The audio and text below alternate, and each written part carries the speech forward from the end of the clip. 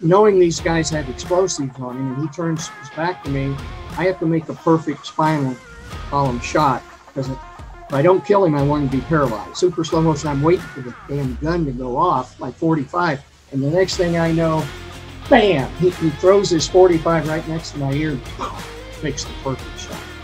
Welcome to Combat Story. I'm Ryan Fugit, and I served Warzone tours as an Army attack helicopter pilot and CIA officer over a 15 year career. I'm fascinated by the experiences of the elite in combat.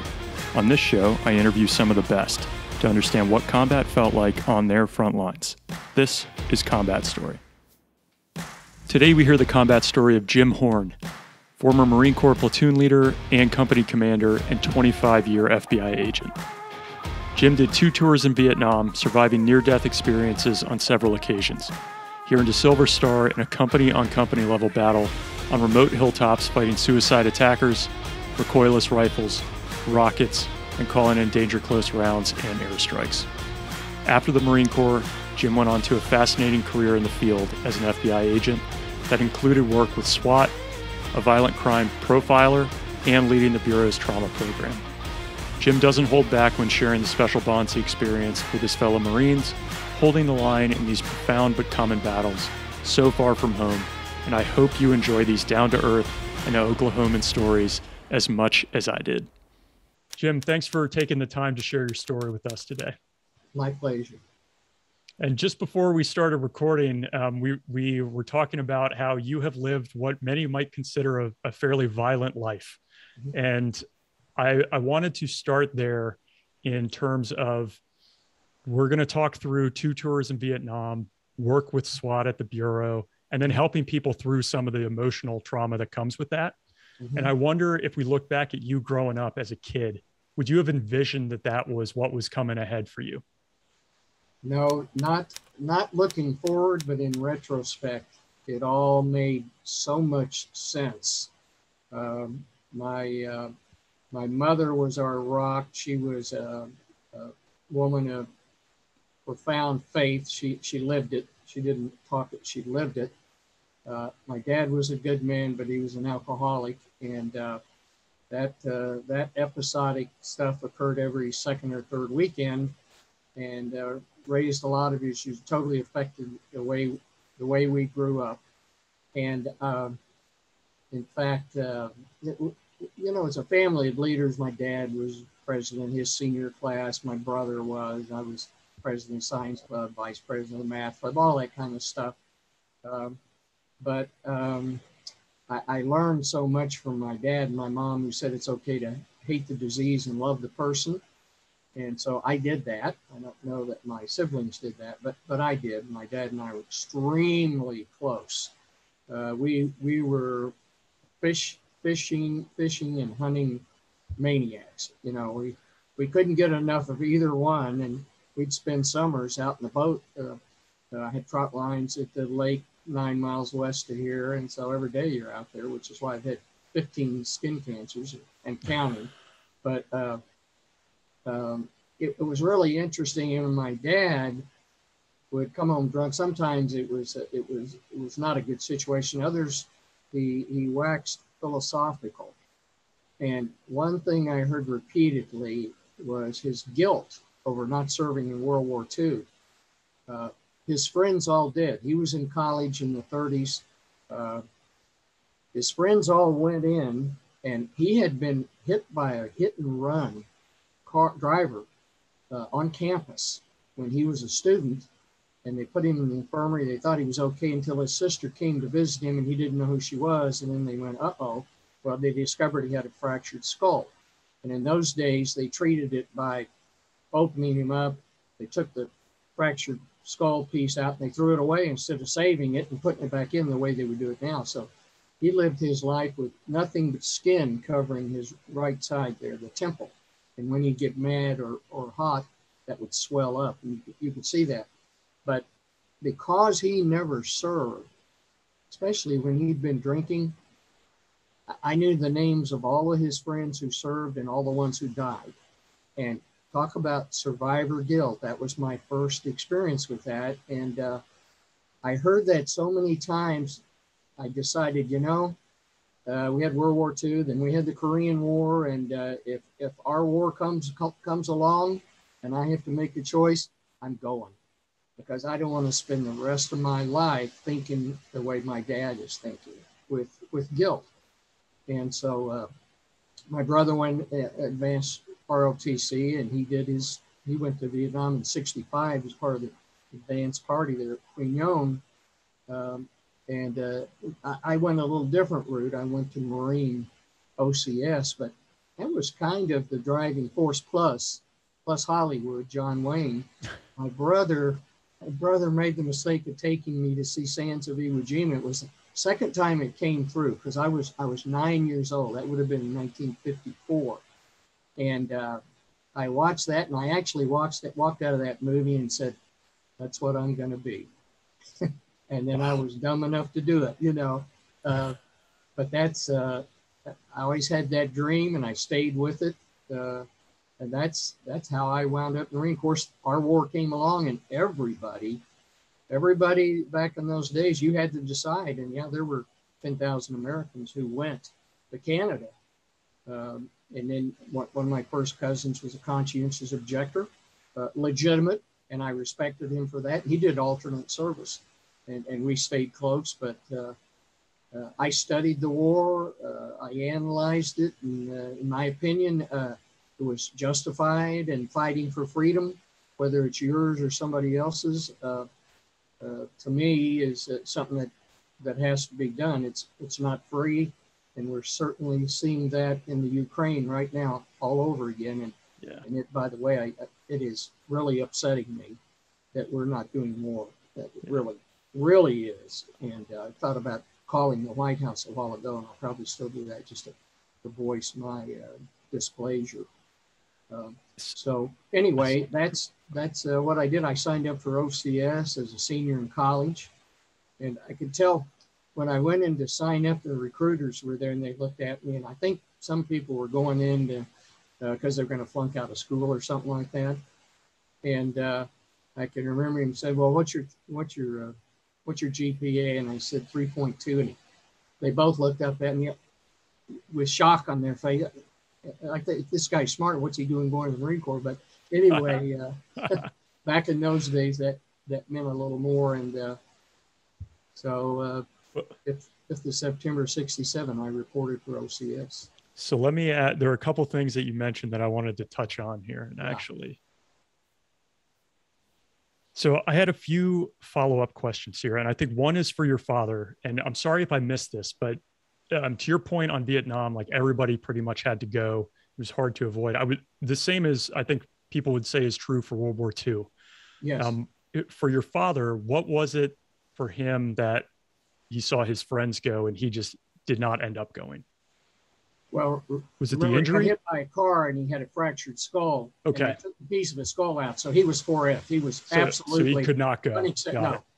Yeah, he, he had no choice. It was medical and legitimate medical but it didn't make any difference in the guilt yeah. because you know when your friends go fight for their country and they die, that's going to bother you regardless of why yeah. you didn't go. Yeah, for sure. Okay, got it. And then you mentioned um, respecting somebody for being a conscientious um, objector, which my first cousin. It, that that makes total sense, and I I agree with that. I haven't ever talked to someone about this though, so I, I was wondering if you can just share more, as you said, you know you respected him for that. And I, I can see why. I would just love to hear it from your perspective. Yeah. Well brian and i were only born a month apart and he was also born here in stillwater oklahoma where i was. And uh, his dad was a ymca director so in fact he was the director of the same ymca that got destroyed by the oklahoma city bombing uh, oh, wow. after he had died but uh, anyway um, so we grew up, the cousins, we all went to YMCA camps together in southern Oklahoma and even Camp Widjiwagan up by the Canadian border for a month. Uh, and so uh, they were, uh, his, his dad was, was a pious man, my uncle, uh, highly respected, uh, worshiped by my, my mother and, and her sisters because he was the only boy and he was the last in the family. So Brian was a very gentle soul. My cousin is very, very gentle soul, I knew he, I knew he didn't have it in him. Uh, I had an inkling I had it in me uh, when I was only five or six and I was playing with my brother and his his friends. They're they're four and five years older than me, and we were playing Cowboys and Indians. And uh, the deal was uh, when you got exposed and you got shot, okay, you're dead, you drop out. Well, um, I shot one one of them, and he refused to quit and give up. And uh, then then when when they shot me, and my brother was behind this, when they shot me, they okay, you're out, you're out of the game. So when it was all over, my brother went into the living room. He was sitting down the couch, and I was still steaming. And I walked into the kitchen. I opened the drawer, and there was a pair of pliers. And I walked up behind him, and I I hit him in the head, hard on top of the head. And had mom not be there, you wouldn't be having this interview because I would have died before age six. Literally, he was, of course, he was that mad. And I mean, I, I, I really hit him. It's a good thing it wasn't a hammer. I probably killed him. But anyway, and then, and then I was, I was a little bit of a toughie as a kid until uh, Jerry Caldwell, my best friend, came along, and uh, we all knew he could kick my butt. But I stood up to him one time, and instead of fighting, uh, he he laughed his he laughed it off, and we wound up not fighting. And from that point on, he was my best friend. Uh, but anyway, so I, I knew I uh, I had a you know temper, and I could I could scrap, and so uh, I saw was that it a. Jim, was it a temper, or was it a temper and uh, like a competitive spirit?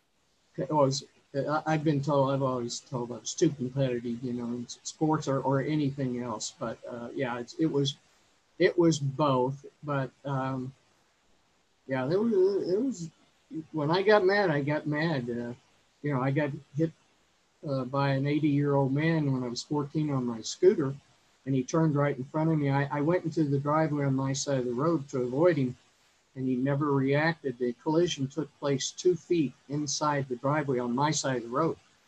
And I, it knocked me out, and I came to, and four women came running over. And this old man, 80 year old, he gets out of the car, walks over to me, and says, You were going pretty fast, weren't you, Sonny? And I knew exactly what he was doing. First of all, he, he tried to kill me. And then, second of all, he wanted to blame me, you know, before the police got there. And it was the first time in my life I felt the surge go through my body and I wanted to kill him. I tried to get up, and each woman grabbed a leg or an arm, and they actually held me down. He went back and hid in the car until the police got there. Uh, but you know, I had a switch uh, that that could be turned on, no doubt. Got it. And then I, I think you mentioned you kind of go into the OCS route at the end of college. So presumably, you know, you mentioned your brother who's several years older. He goes to Vietnam in 65. Uh, I'm sure there was a an opportunity if you wanted to go straight out of high school, or maybe there wasn't. But I'm just curious, why did you take the route to college um, at that time?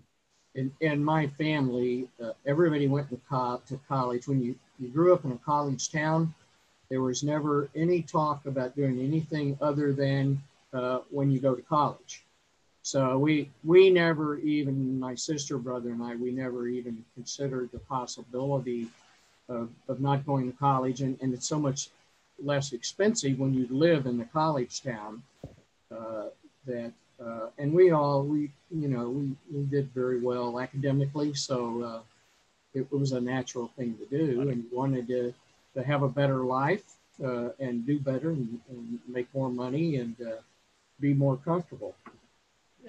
So it never was not a consideration. And, and it, in my high school class, uh, know, a lot of those kids had professors for parents. Yeah, and I would imagine. very, very bright bunch of kids, and uh, and uh, the large chunk of our class went to college compared to schools where there it's not a college town. Yeah, that makes sense. Difference. Yeah, it was and, expected. And then, I'm sure. Yeah. And then the last thing, just about your childhood, as you mentioned, you and your old man going out fishing and hunting. Yeah. Um, I do find it interesting as I talk to folks who spend time in combat later on. Like, yeah. how old were you the first time you picked up a gun and you were shooting at when you're out hunting? BB. You start with a BB gun, and then and then my dad. Uh, I was 12 when he got me a single shot 20 gauge, which I still have. And wow. when I was 16, uh, he bought me a, a, lightweight Browning 12 gauge automatic. And uh, so I still have that. In fact, I had my dad's 20 gauge, which got a poly choke on it, uh, Browning auto. And uh, so uh, we just, I loved quail hunting and squirrel hunting and rabbit hunting and, uh, and fishing. And we ate every, you know, we didn't have a lot. And so when we brought home fish or, or meat, it, was eaten pretty quickly and, and happily. Got it. All right. this is like all. Sar- sort of like Sergeant York, uh, York and Audie Murphy, you know, they both grew up hunting because otherwise they wouldn't have something to eat. Yeah. And uh, we, we weren't that bad, but it sure helped put meat on the table. I think the um the competitiveness, the the survival, the hunting, all of this is making more sense how we track you into into the Marine Corps later on. Oh, I love the OCS and, and Officers Basic School because it's all competition, you know. It's, and at all. that at that time, I mean, you mentioned 67. So the war is, I mean, it's moving. That's yeah. got to be in the backdrop. What is the what was the the feeling for you as you as you go through that training initially how you just hey i got to get out there and get into combat at some point what what were you thinking at that point in time? Well I, w- I wanted to be an infantry officer. I, I didn't want to join the marine corps and drive trucks or something uh, you know run motor t or something like that. I just i just knew from uh, i guess sands of iwo jima from that point on i had a poster in my room uh, be a be a, a leader of men Marine Corps officer, uh, be a Marine Corps officer, have your own company at 25. I had my own company at 24, so I, I, even I even beat that. But um, yeah, it's uh, just just something was in the back of my mind, and, and we knew we were going to have to serve or, or flee, and a lot, a lot of my friends went into the reserves and stuff like that, and and but a tremendous number of guys in my class of 63 from high school went to Vietnam, and I didn't even know how many until we had our 20 year high school reunion and we were making a presentation to two of our guys who, who had severe PTSD, and we gave them real nice plaques. Thank them for their service, brought them up, you know, and, and gave them a big pat on the back. And, and I just said, uh, How many of you served in Vietnam? And I thought there were five or six of us. There were 30 guys that raised their hands. That's just wow. the ones who were at the reunion. Yeah. So our, our class made a contribution, and most amazingly, all we didn't have one single death, not one. One of our guys, Marine, lost his Marine little brother over there, and he's buried by my parents. But um, we were uh, unbelievably lucky. Was was there any um, concern at the time that you might not get infantry going there, or was it, hey, we need to get people into the infantry track because that's what we're fighting right now? Well, yeah, most people didn't want to go there, but uh, there, there was a, a, a, deal, you know, if, uh, if you finished high in your class, and I finished 13th out of 242, that you got, you, you would get your MOS. And I, I asked for 03, yeah. as we call it in the Marine Corps. And uh, so I felt pretty confident in that. I, I just felt like that was something I was uh, supposed to do, that I, I might be able to do capably uh, and make a contribution. And I, I believed in the cause. I still do. I have lots yeah. of, I have Vietnamese friends. My barber's Vietnamese. The, the people that do my feet are Vietnamese, and I eat Vietnamese food. And uh, uh, it became a part of me that I've never let go of. And if we then move into that part of your life as we as we kind of depart training and move towards Vietnam, um, as you're shipping out, is it number one, pretty quickly right after training, you're sent forward. Um, and what is your, are you married at the time, Jim? Like what, what is, what's going on at home as you start shipping out? Yeah, I was, I was single. I was single until I was 33 years old, but, but at, at officers basic school, uh, I had a girlfriend at Georgetown and uh, her family was uh, incredibly wealthy. And uh, she really, really, really got attached. I had broken up with two women, two girlfriends before I even went to Marine Corps. I said, "This is what I'm going to do. If I make it back, you know, we'll we'll see. Uh, I'll I'll look for you." And um, but this gal got really attached, and uh, she didn't even want to get say goodbye there. She said, "No, I'm coming to Oklahoma to say goodbye to you and meet your parents and and all that kind of stuff." And uh, uh my aunt, my aunt and uncle in Alexandria, Virginia, we've been been on a bunch of cruising uh, uh, um, in the Chesapeake Bay and the Potomac because they had a cabin cruiser. He looked up her dad's resume and printed out the list of all the companies he was on the board of directors on. And, but it was funny coming from my background. She never mentioned it, but when she did, the shock for her was uh, it didn't make any difference. I didn't have the tar- heart to tell her uh, it made a big difference because you and I are from different worlds, and I don't think I fit into that wow. yacht, the yacht world because I'm a I'm a, a down to basic, simple Oklahoman, and we never had anything. So uh, it actually it actually kind of sealed the deal for me. But but anyway, uh, oh, the departure, very interesting story. Um, I, I, remember driving back from uh, Washington D.C. with three of my classmates when it came over the radio that Martin Luther King had been assassinated. Uh, I was actually very shocked that the other three guys uh, seemed to approve of it. That wow, that blew my mind. Uh, but uh, then uh, R.F.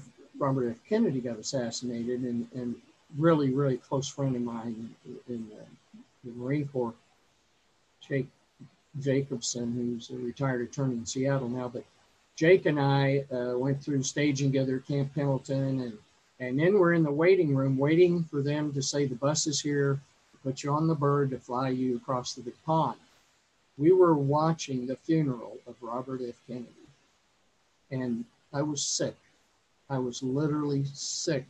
I told Jake, I said, you know, JFK, Martin Luther King, Robert F. Kennedy, I'm not saying I'd vote for Robert F. Kennedy, but it makes me sick that he was murdered uh, and I said, you know, Jake, I'm ready to leave this country for a while, get away from. Wow! It. Wow! Interesting.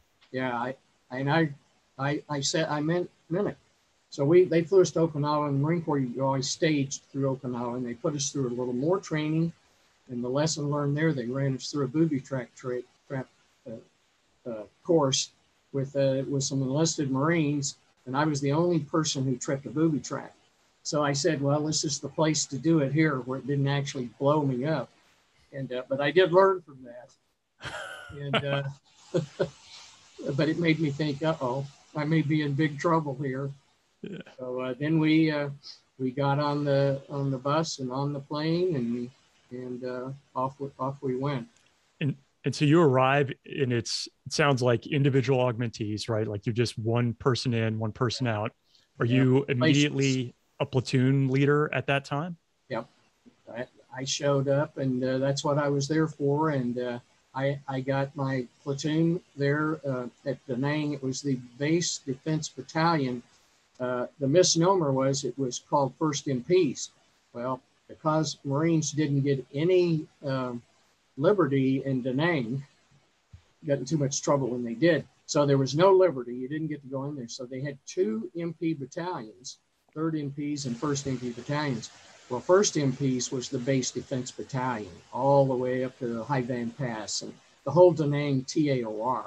So we did all that. We did the bunkers, we did the patrolling, the ambushing, and uh, and uh, receiving of rockets on a regular basis. There, we we lived around. We were on the south end actually of the the airstrip, the busiest airport in the world. Every 28 seconds, there was a plane landing or taking wow. off and uh, I had the uh, I also had the morgue inside my perimeter at the at the at the north end. I'm sorry, north end of the runway, and uh, uh, my treatment of guys who fell asleep in the bunkers at night on watch was we would gather up two or three of them, and the lieutenant running the morgue, Army morgue, uh, told me uh, you can bring them, bring people over for a tour anytime you want.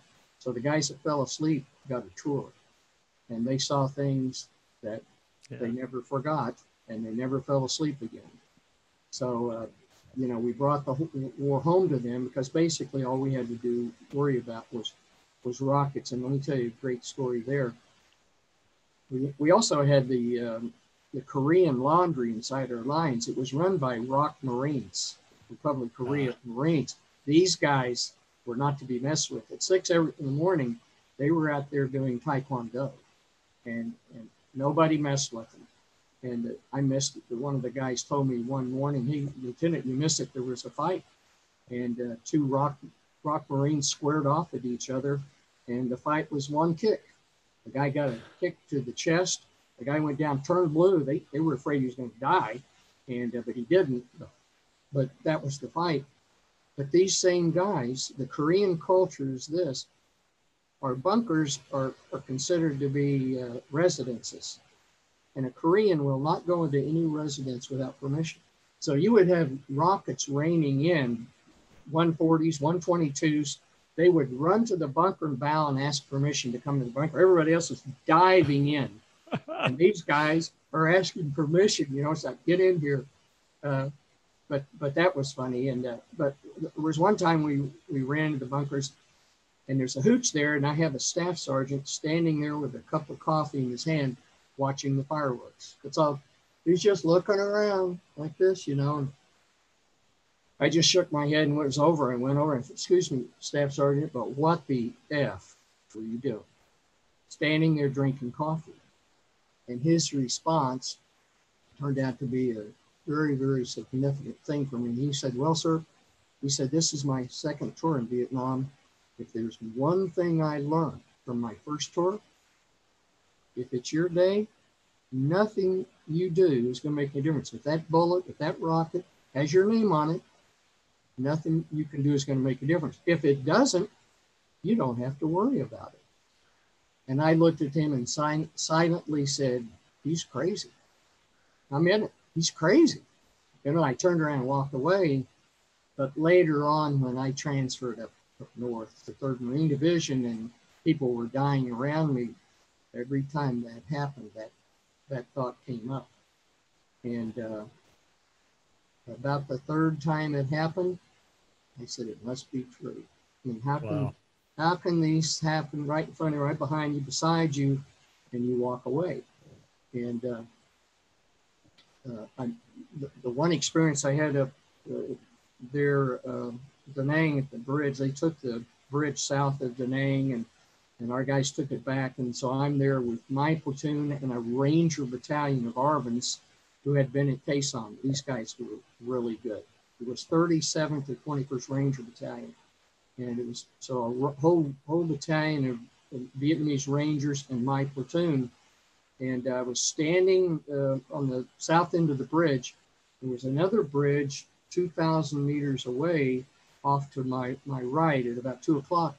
I was standing there and I saw the flash, the muzzle flash, and it was 20, 20 millimeter uh, machine gun, and uh, you don't have time to react. I saw the flash, and then there was a there was a, a, a horseshoe pattern that went from below, down low on my right side, around me, over my head, no. and it went down over here.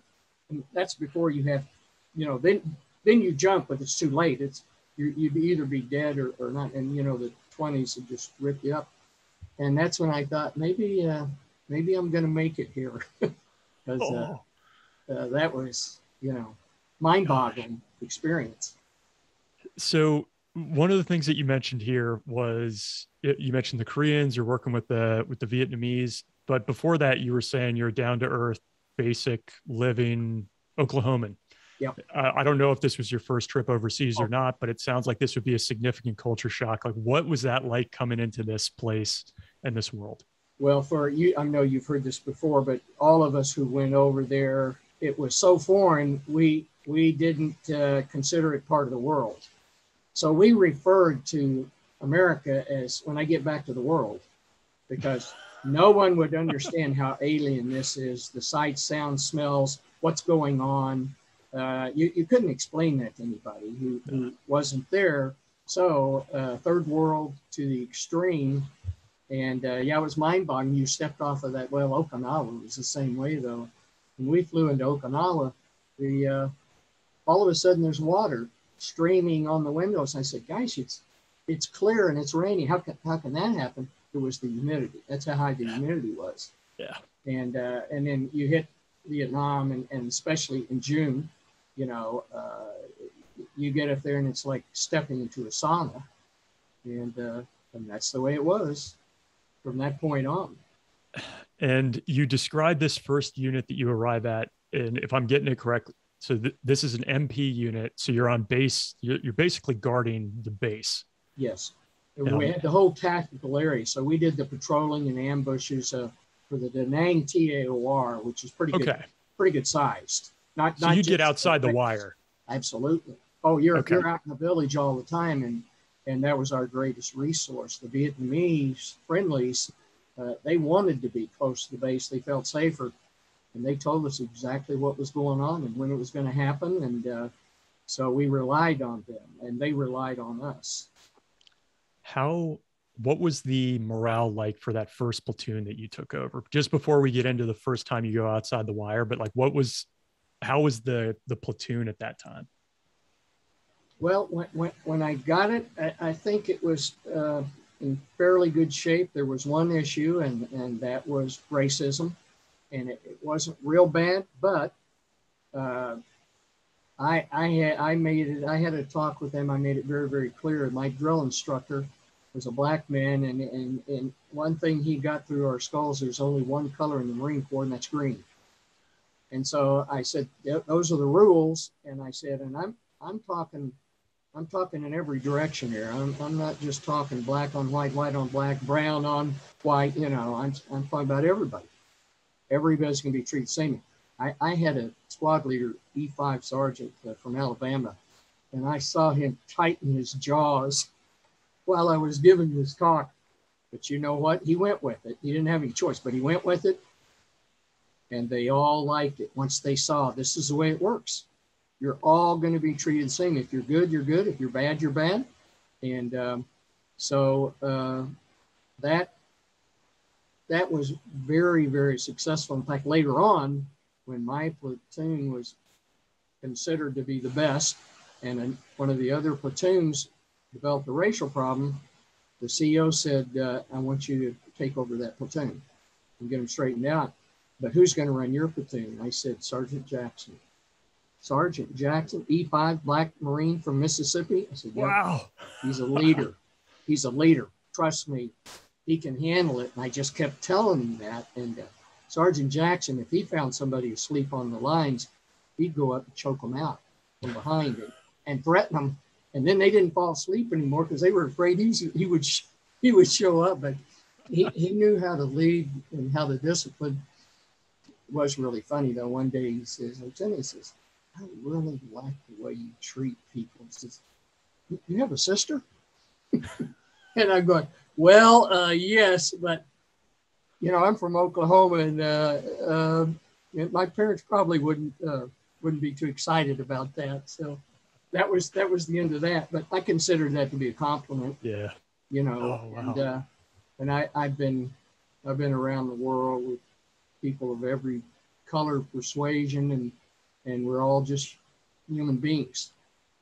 I've, I've talked about this a bit with some other folks on on this program. You know, guys Yeah. from Delta and and different high speed units. And truthfully, like we have all this division in the U.S. right now. Yeah. There wasn't a single time in combat where somebody like when they needed support, nobody's asking about anything else. Color your skin, gender, like Yep. who you vote for. It's just like Yep. Who's going to get me out of this and save Yeah. me. they say there's no atheists in the foxhole. there are so no there are so no uh, also are no racists. Right. You know that That's that exactly black right. white that salt and pepper team that didn't like each other, when they survived the night, as of the next morning, they were best friends the rest of their lives. Right. I mean it, that happened. I saw it happen. You heard about it and then you saw it happen. And uh, yeah, I, I, I frankly I don't understand racism. Somebody just said on TV a while ago when, when uh, people are trying to bring you down, they're already lower than you are. Yeah. Yeah. Yeah. For sure. So, uh, you know, and then all the Asians I worked with and the Vietnamese and some really outstanding people. Hurts, hurts me to this day that we turned around, walked away and, and took away their funding and scuttled their efforts. Uh, you know, we betrayed them. and uh, we, we, have a habit of doing that. I, I, was going to say you could be talking about multiple instances right yeah. now. It's yeah. not just isolated. I know. Um, I, I guess as as we talk about your first time in combat, so we have a good setting of where you are, the the unit, morale.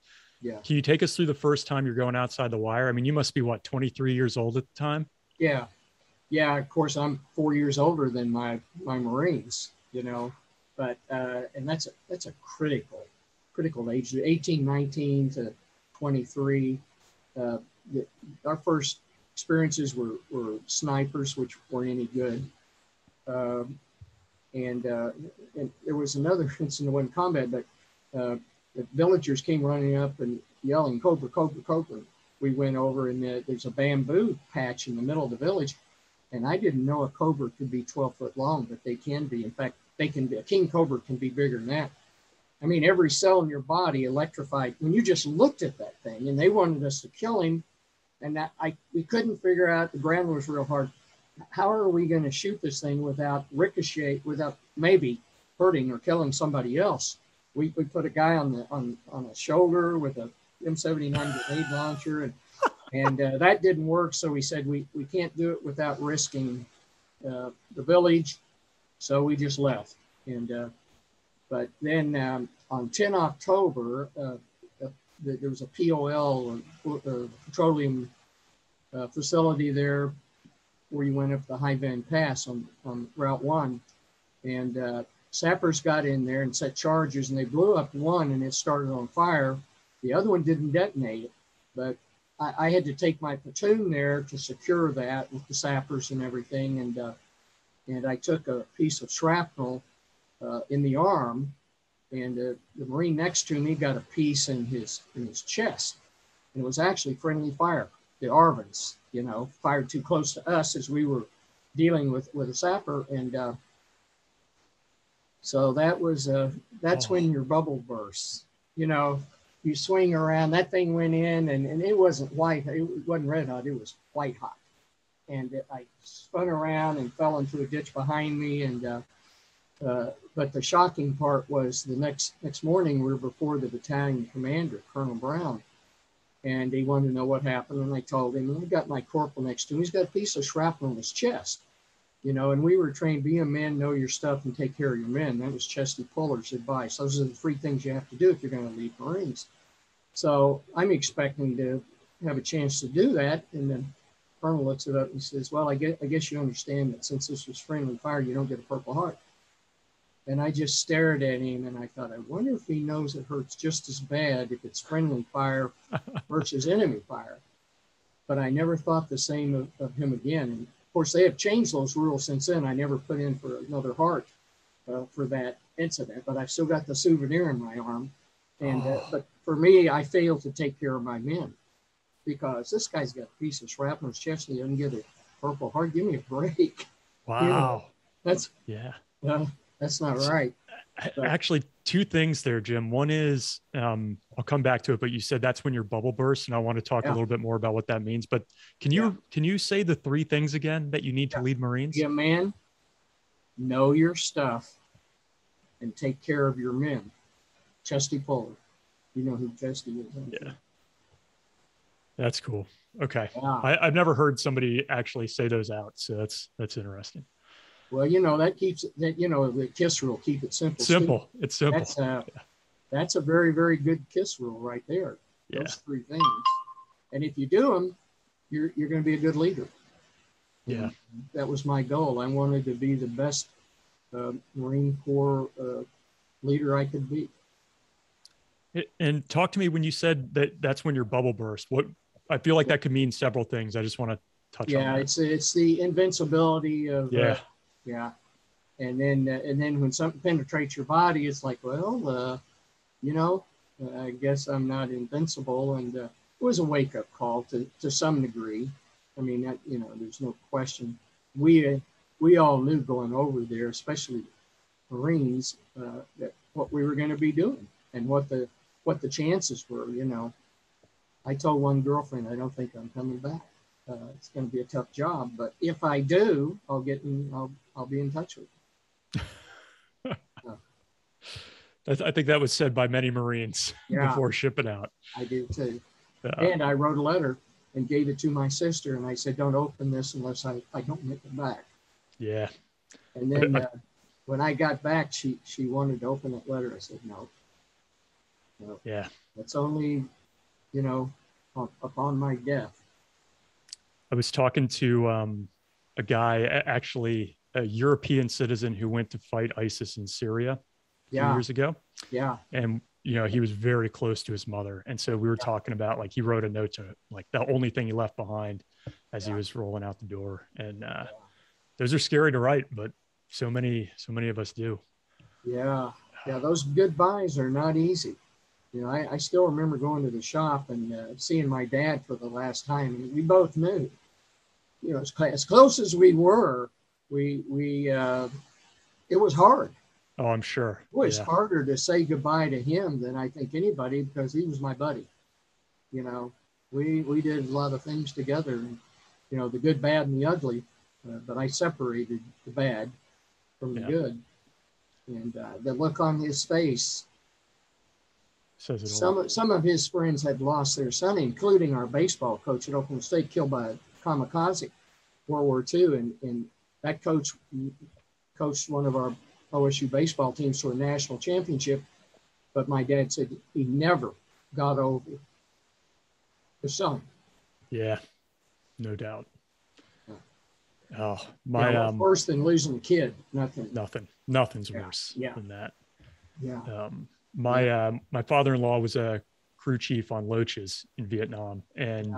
Yeah, so I, I had met my wife when we were in high school. So he's known me all through, like when I went to ROTC and into the military, and before I deployed. So he would he would often say like, "Hey, you don't need to be a hero over there. Nobody wants to lose a kid." And it's the right advice, but when you're young, you know how it is. Like you just want to get into the fight and be part of it. So Yeah. you're you're trying to balance that, and it's not till you're older and have your own kids that you really think back at how hard that is. Yeah, one of the things we all went over this Marine, you gets pounded, the tradition gets pounded into you. We study history of the Marine Corps, and you know Yeah. it before you go deploy, and everybody has one question: Will I measure up? Can can I meet that standard? And that's what you're waiting for in the first first combat to see. Will you have the presence of mind? Can you do what you're trained to do? and uh, that's uh, but you don't know for sure you just think maybe you have confidence but how can you know for sure until it happens was that that um shrapnel incident was that your first time outside the wire?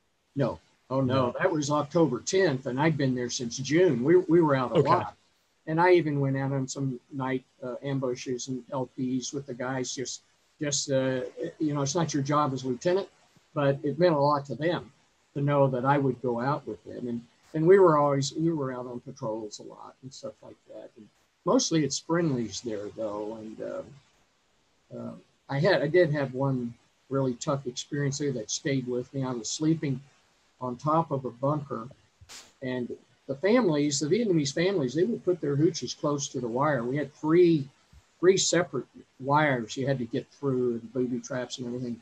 But this this family uh, young couple and a little baby were right up against the outside wire and i was laying there at night probably about three in the morning. I heard i heard the rocket coming in and and that loud crack and then the blood curdling scream of a mother and a baby and that just faded away. That scream went on for maybe 10 seconds and then it stopped and they were dead.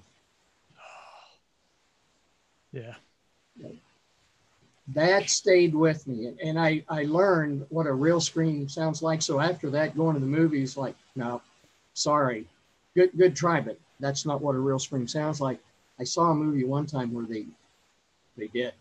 They got it and it fla- i flashed right back. Wow. Yeah. Yeah jeez. So in that in that first year that you're there jim do you i mean because obviously you go back for a second um, was there i guess did you have some of your tougher moments in that first year or did they come in in the second year Oh yeah, no. That with one exception, the all the toughest things happened in the first tour, which was 13 months. Uh, and and uh, I lost three radio operators in Vietnam, but the first one I lost, some would think this is ironic, but to, again, trying to understand survivor guilt. Uh, Kenneth Shootman was short. He had a month to go. He was my my radio operator and my driver, and he was from Oklahoma City, and he's going to get married in a month. He's going home to get married, and uh, I went on R and R. Christmas time. I went to Sydney R and R. Christmas time in '68, and uh, a couple of days later, one of the other platoon managers comes knocks on my door and he says, uh, "Shootman's dead." I said, "What?" He said, "He's dead." He said, "The VC came in the village, and the XO took your platoon, my platoon, and went out to handle the matter. Instead of sending, you know, a platoon, their platoon commander and their platoon, they liked my platoon, but it was the XO taking my platoon. And I don't know if Shootman talked him into it or he talked Shootman into it. Uh, you know, you need a good radio operator who knows what he's doing.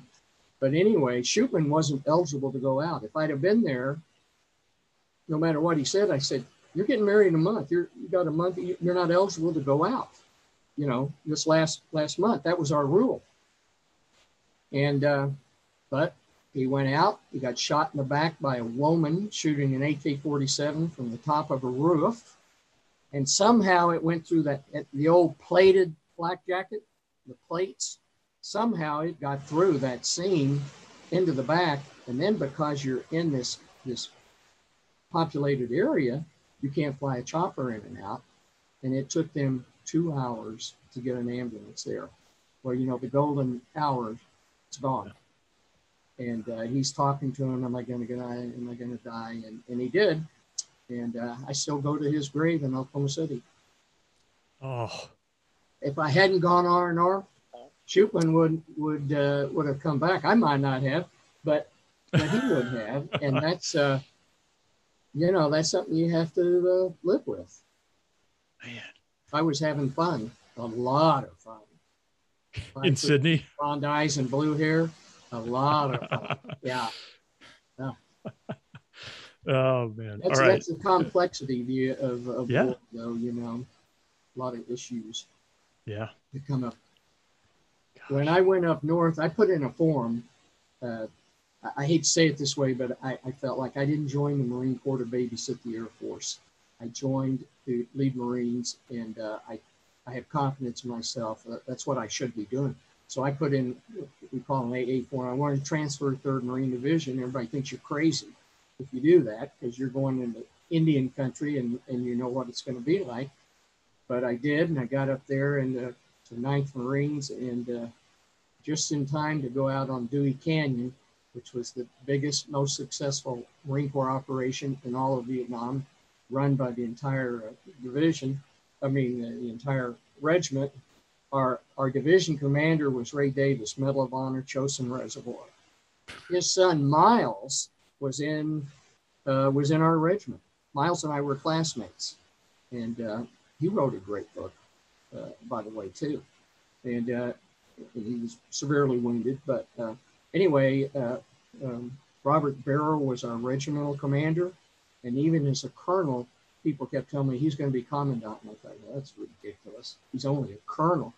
Well, he not only became commandant, he was one of the best we ever had, maybe the best. And then I had George Fox for a battalion commander. And George had been an enlisted Marine in World War II. He had actually spent time in Stillwater, Oklahoma training. So he knew Stillwater. He says, I love those rolling hills. He treated me like a son. So wow. I it's the best situation any any Marine lieutenant ever went into. You know, Medal of Honor winner, division commander, commandant, future commandant, regimental commander, and a guy like George Fox, another totally down to earth, down to earth guy. Um, and uh, that's that's what I went into. And I was in the three shop initially because uh, they didn't have an opening, and then golf had a an opening for an XO, and I was the XO for golf company for a month. And then uh, Dan Hitzelberger was was our CO, and he was a Naval Academy graduate, and I learned a, the treasure full of things from him. I I watched every breath. I listened to every word, and uh, I learned a whole lot about him. So when he got medevac, uh, he got a really bad infection in a, in a very private place. One of them oh. swelled up like a softball, and uh, anyway, uh, he was out of there, and he said, "It's all yours. You're ready." And uh, so uh, that's how I inherited golf company, which I had until I was medevac 70 days later. So, um, just briefly here, it, it sounds like from your company commander up through all the brass you could see, you just had like this pyramid of great leaders there. Perfect. Perfect. I mean, there's nothing I would I could even dream of changing about any of them all the way to the division uh, commander. If if you think maybe on the the future commandant or your company commander, was there one or two things that stood out about what they did that you really like, like maybe emulated later or really tried to to use? Well, uh, I, I, guess I admired the respect. Uh, Colonel Barrow, first time I ever saw him, I, I was at Okinawa in the O Club. I, I went back there for embarkation school, and I'm sitting there with all these officers. There's field grade and, and everything, and uh, and the brass. And this colonel comes walking around the corner, and everybody jumps to their feet like they're uh, at boot camp because of this colonel. And that's that was Robert Barrow. And uh, wow, but nobody does that around here. But for him, and I said, "What? Well, tell me about this." And he says, "He's going to be commandant." I just laughed it off. You know. But um, quite frankly, I'm a, I'm a, I have a little bit of Patton in me. Uh, I really believe this is wasn't my first rodeo. I think I've been there and done that before. I have those instincts, and um, I've always uh, I've, I've always had them from, from the time I went over. There were uh, there were instincts I had. And I did a three hour interview at the University of Texas and they asked me what, what prepares people for stuff like this. And I said, honey, I hunted all my life. So now I've got a different target, but I'm still, we're still hunting. Yeah. And uh, Sergeant York, Audie Murphy. Yeah. Same uh, thing. It's quite a back. And you look at all the Southerners who grew up hunting and, and uh, it, it's, it's instinctual I think in, in a lot of ways. I don't know. So I didn't answer your question probably. Well, no, no, I, I was just, it, it, seems like you are able to learn from other people very, and, and you appreciate the, what they bring. And I, I don't think a lot of young officers do that. I think they think like, oh, I'm coming in, I'm going to, I'm going to take what I know and, and drive this forward. But it sounds like you're really onboarding and observing what's going on with these different leaders. So I was just curious if there's something you pulled out from that from maybe your company commander or someone else? Yeah, he, uh, Dan Hitzelberger, the late Dan Hitzelberger, unfortunately, uh, and his funeral was in Annapolis in Patrick Henry's church. I went back for it. Pretty special. But anyway, he told me when I took the company, he says, uh, you know, I just tried to emulate him. He said, I'm only going to give you one piece of advice. Don't ever adjust artillery if you're on the gun target line you know, up there you're in the mountains. So trajectories, you don't know. Is it going to catch here? Is it going to come down here? Whatever. Don't ever do that. And I never did. Uh, it's the only thing. That's I, so interesting.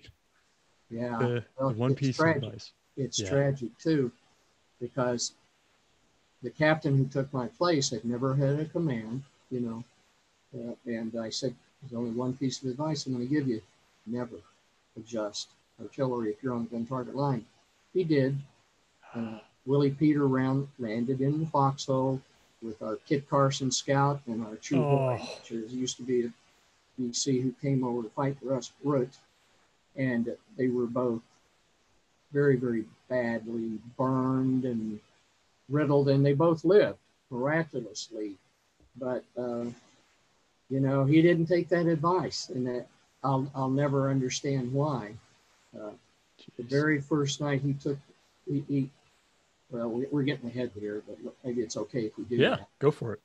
Uh, when we went on Cameron Falls, we went back into the A Shau where Dewey Canyon was for the second time. So we're out there in May, and the East, the North Vietnamese were gone, and we couldn't figure out why for a couple of weeks until half of my company caught malaria.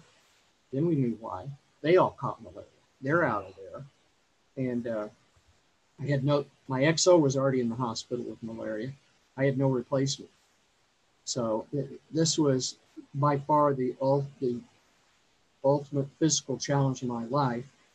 Uh, I went down to 140. I'm 6'2. I was down to 145 pounds. Uh, sorry to be gross, but I Yep. didn't even stop to lower my trousers anymore because I just had the runs all the time. Yeah, it, it was that bad. And uh, had I not been deeply in love with that little five foot two blonde hair, blue eyed Aussie, I'd have never made it. I actually said her name every step so I could take another step. But my I've got my company and I'm I'm all they got. And so you know there's there's there's no way out of it. And we get through with that operation and this captain comes in and the battalion CO says, uh, so, you know, we got your replacement here, you know, so you can you can go to the hospital. And then he changed his mind. He says, look, this guy's never had a command. Can you go out on uh, Apache snow with us for a few days and snap him in? And then you can go to the hospital. And I, I, there's no way he knew what he was asking. He, I, I was sicker than a dog, literally. But I'm not going to say no to this guy, uh, George Fox. And so I did it. And uh, the very first night, we've got a Medal of Honor winner that brings his battery in, Barney Barnum, Harvey Barnum, Barney Barnum and he got his in Harvest Moon in '65. So we got the. They said we're going to give you a break. We're going to put Golf Company in the. They reopen the fire support base. We're Going to bring the Barney's battery in. We're going to have the battalion CP there, and you guys are just going to, you know, take it easy and protect us. And uh, we get a Chuhoy that comes in at 2100 at night, and he says, "I don't want to die. Give up." And uh, that's a North Vietnamese, and. Uh, we interrogate him. He says, uh, "Yeah, there's my company of 200 is going to hit you at one in the morning," and and they did. And uh, so at least we were a little bit ready for him. But to this captain's credit, he looks at me and he says, "I've never done this before." Now, most Marine captains won't ask a lieutenant for help, but he says, "I've never done this before. Would you mind running the show tonight and let me watch, and then I'll take over in the morning." Sure. So that, Wow. that's what I did. And, uh, but by, uh, by morning time, uh, you know, you're exhausted. I've been sick for two weeks with malaria, falciparum malaria, the one that kills millions.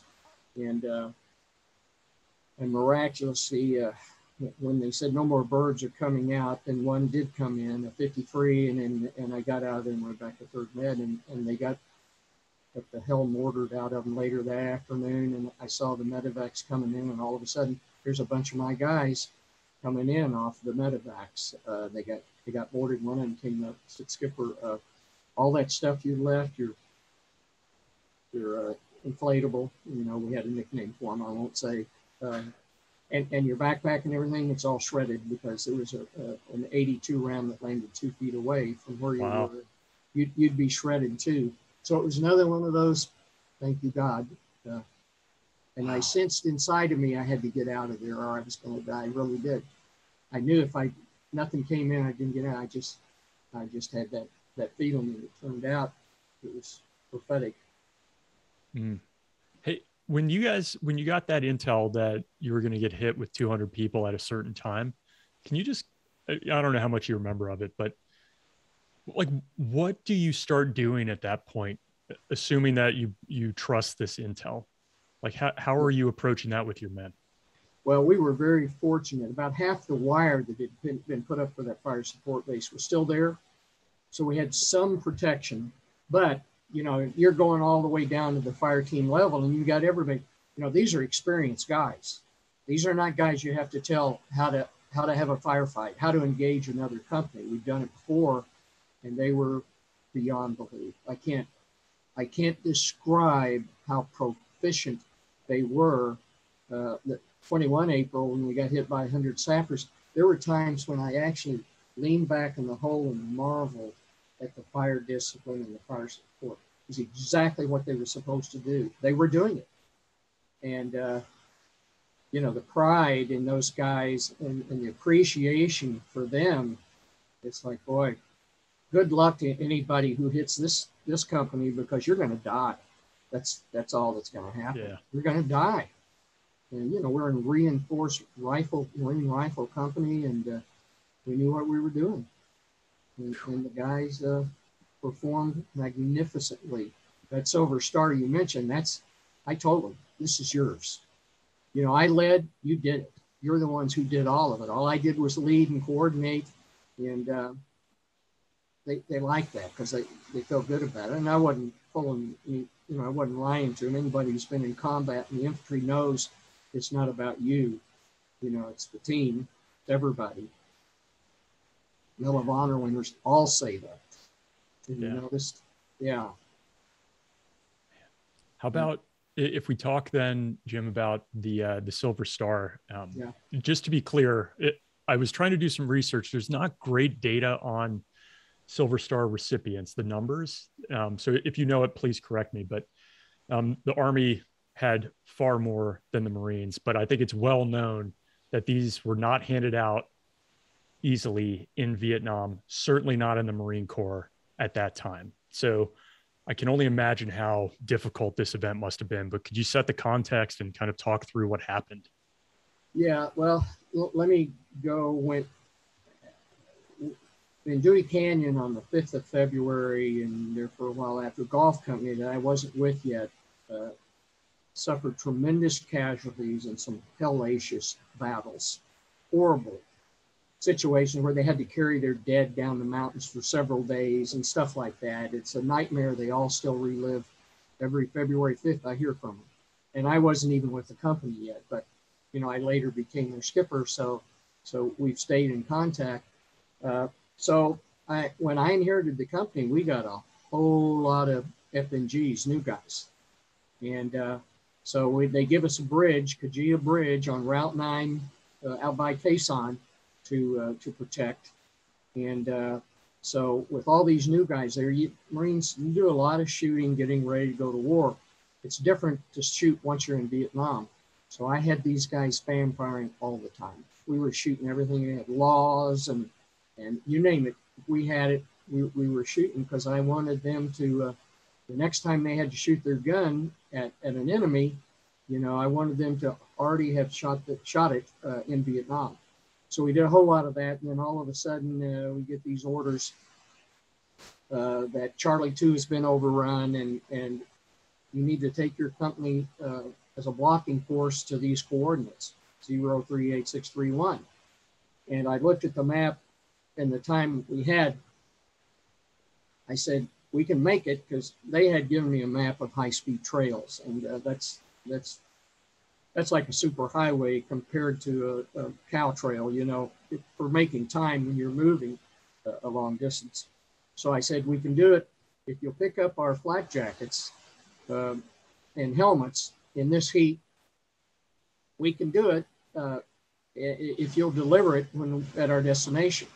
Well, I got the solemn promise they would pick them up and deliver them. And so we got there. And when we got there, it was three hilltops you couldn't put a company on. So I had to put a company on each of the three hilltops, be, be mutually supportive. And they said, you're not getting your flak jackets and helmets back. And uh, I suspect uh, that sealed the deal for the North Vietnamese. We have to hit them now. And uh, so uh, we're, we're all set up. And uh, my XO, who was uh, also my first platoon commander, got the Navy Cross for what he did that night. He deserved at least that. But um, so Jay, Jay was uh, my XO, and we're on the same hilltop. And I think that was providence and, and important because Jay was the best. The other two platoon commanders both made generals, but they will both admit Jay was a much better platoon commander. Wow. And uh, he, he was a southern boy from Alabama who talked like that. And my biggest problem with Jay was he had no fear. he's former enlisted, went to OCS. And uh, my biggest problem with Jay was he, he would just stand there and look around, firefight like this. I said, Jay, get down, get down, get down, Jay, get down. All the time, you know. And uh, Jay would say, nothing's going to happen to me. And it never did. Jay got a Navy Cross and a Bronze Star and never got a Purple Heart. And what one day I finally told him, like Jay, I figured, I figured it out. You have a gold horseshoe up your ass. That's that's uh, that's how you could do all these things and never get wounded. And uh, I told the sister nurse that she couldn't stop laughing, but it was true. I, have never seen anybody like him since. Uh, but anyway, so again, don't get too close. Stay away from me. You know, we can't both go with one explosion. And so at, at nine we nine o'clock in the evening, we got probed, and, and Jay had put a an LP on the east side of the hill. Thank God, right where it should have been. And when they had movement, they fragged this. They fragged the movement, and it totally screwed up the NVA. It was obvious they intended to attack us from the east. That would be the main thrust to get to first platoon. Uh, mortars were on top of the hill right behind me. Uh, you know, our CP is there. So that's that's the number one objective, and that totally screwed them up. So they had to, they obviously revamped their plan. They spent the most of, of the night then crawling around the dark to set up a different uh, plan of attack. And now they're going to come up from from the southwest at the CP. Um, and the way they did it was these are sappers. There's a hundred sappers. They have explosives um, attached to the back of their neck, and they have these dark tarps, and they have the tarps over them, so they move along the ground. You can't see. You know, it's nighttime, and and uh, so they can get real close to to the outside positions. We had defense in depth. Do you understand that? Yeah, I, so, I do, but it's worth it's worth sharing for others yeah. who might not know who are listening. Yeah, so so it's like bees. You've got you've got um, a foxhole down here with Marines in it, and behind it on each, both sides, there's there's another hole, and and uh, so that way, if they get through the first one, they have to deal with these two. And uh, but because they were willing to crawl up, uh, they would lay down a base of fire on a hole, and the sapper would crawl up there. They would cease fire. Sapper would jump in the hole, pull the string, and everybody went. So they were able to penetrate uh, our perimeter by doing that. Sorry, so, Jim, can I interrupt? Uh, um, yeah. So I know what a sapper is from yeah. the U.S. context, but the way yeah. you just described it made it sound almost like it's a like a suicide mission. It is. It's absolute. It's kamikazes, except they're not in a plane. The bomb oh. is on their neck, and uh, it's it's it's like what what the guys experienced over in the sandbox wars yep. was uh, blowing themselves up. It's the same yeah. exact. I, I didn't realize that. Okay, I didn't realize Absolutely. that was uh, something you were fighting there. Absolutely. So um, anyway, uh, I had the best gunnery sergeant in the world too, Gunny Kinney. He was so dedicated. He said, "I'm not getting married until I get out of the Marine Corps." It's a Boston Marine, classic Boston red-headed Marine. I love it. And he was a really, really intelligent and, you know, had had everything it takes. And anyway, he comes up at four in the morning. Uh, we're just kind of waiting, but I, I got to get some sleep. He wakes me up at four in the morning and he says, Skipper, we've got movement. And uh, the next thing uh, that happens is the world explodes all at once. It was perfectly timed. Uh, they had a recoilless rifle northwest of us, and, and I could see the rounds uh, red rounds, and they were they completely knocked out our mortar team uh, right behind me, and um, really sad story there. Uh, connected to the Ukraine, by the way. His mother was Ukrainian, but anyway, uh, uh, so the, the fight was on, and it was it was vicious, and um, so they were able to penetrate the, penetrate our perimeter, and um, one of the things I told them, because we had Rut with us, a Vietnamese, our, our, our Chieu Hoi, who was invaluable to us, he, he knew things instinctively. Uh, I could even say, Rut, is it going to rain tonight? No. And he was always right. He knew. He could just, you know, he lived in it, so he, he knew. Wow. Wow. and uh, but he had a he he had a he was a wealth of information and very helpful and very good. And uh, I was really worried our guys would shoot Rut out of mistake. So you know the order was very strict: hard targets only, hard targets only. What, Not what does the- that mean? Sorry, Hard Jim. Could you? targets mean you know it's the enemy, 100% okay. it's the enemy, then you kill them. You take them out. And uh, so maybe uh, down down below us, there probably wasn't any hesitation, but uh, second radio operator lost was Maxie Jackson from Tyler, Texas. And Maxie's right in front of me. He's got his M16, and I've got a handset on both ears. I got battalion, I got company, and uh, and and we've got illumination. So you, you can kind of figure out who's who. And I look over my left shoulder, and there's a guy behind me over here, uh, 10 feet away. And uh, so I'm, I'm, I'm looking to see who he is. And then I see the silhouette of an AK 47 swinging around in super slow motion, like everybody describes. And, and he's coming around like this. So I just ducked as far as I could, let go of the handsets, grabbed my 45 and ducked and uh, he opens up with his AK-47, and Maxie takes one on the head. He's he's gone real quick, and Soa gets hit in the arm, and the guy stops. He has the company commander and the, and the CP dead to right, and he stops shooting. You know, he shoots three or four rounds, and he starts and stops and starts turning around again, and it's it's again, you know, the question arises well, the radio operator that wasn't hit is on my right. And so, knowing these guys have explosives on him and he turns his back to me, I have to make a perfect spinal column shot because if I don't kill him, I want him to be paralyzed so he can't pull the string. So, I'm illumination's going in and out. I'm squeezing, squeezing, squeezing, super slow motion. I'm waiting for the damn gun to go off like 45. And I got Rory Rogers sitting next to me apparently and the next thing I know, bam, he, he throws his 45 right next to my ear, Boom! makes the perfect shot. Perfect shot. And you talk about perceptual distortions, and the guys who've been there and done that, they'll, they'll understand this. When that NVA hit the ground, he hit so hard it sounded like they dropped him from a two story building because sounds get magnified. Sometimes you don't hear anything, and other times, you know, a, a handgun can sound like a cannon.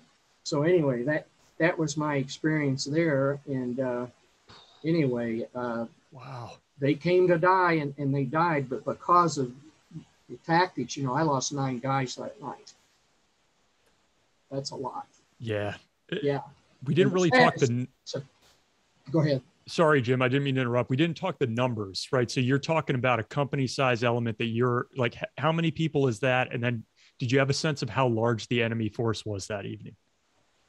Well, we, we knew from from the reports that of theirs that we got, it was 100 sappers. They said they have to support people grab bodies and weapons and drag them away, stuff like that. But there were Yeah. actually 100 sappers, and we we captured three POWs. You know, high high value, and uh, that that was a priority of mine. You know, if you can take them alive, and uh, I interviewed. I sat down with all three before G5 came in to get them. Yes, and uh, um, intelligence. And uh, I sat there and we smoked a cigarette, and uh, they were young, you know.